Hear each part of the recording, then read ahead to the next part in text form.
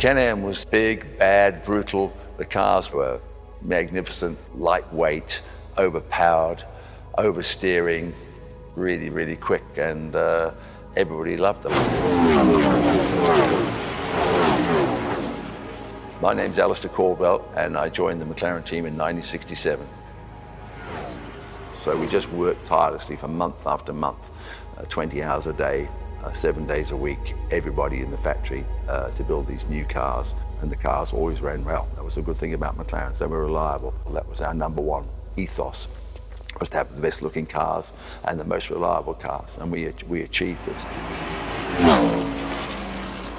My name's Keith Holland. I'm Global Heritage Operations Manager for McLaren Automotive. The Can-Am series of the late 60s, early 70s is an incredibly important part of McLaren's heritage. From 1966 through to 1971, McLaren won five consecutive Can-Am championships, a record 43 race wins, and it established McLaren as a successful manufacturer and a winning team.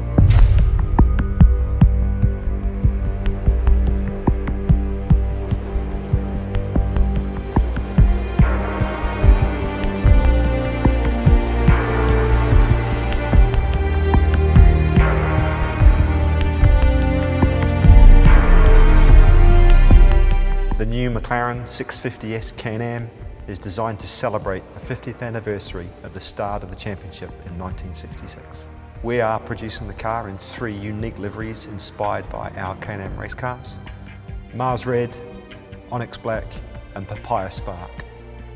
McLaren enjoyed so much success through the Can-Am Championship because it was an innovator. Today the materials have changed, but the philosophy and ethos have not. In addition to the carbon monocell, which features in all of our cars, this car also features a carbon fibre bonnet, a carbon fibre air brake, and for the first time, a fully retractable carbon fibre roof.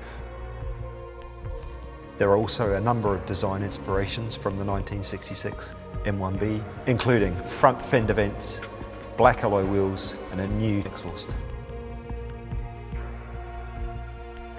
Inside you'll find more carbon fibre and the Alcantara and Nappa leather seats are coordinated to match each of the three individual exterior colours. The McLaren 650S Can-Am is a limited edition car and only 50 will be made. It's a fitting tribute to our Can-Am heritage.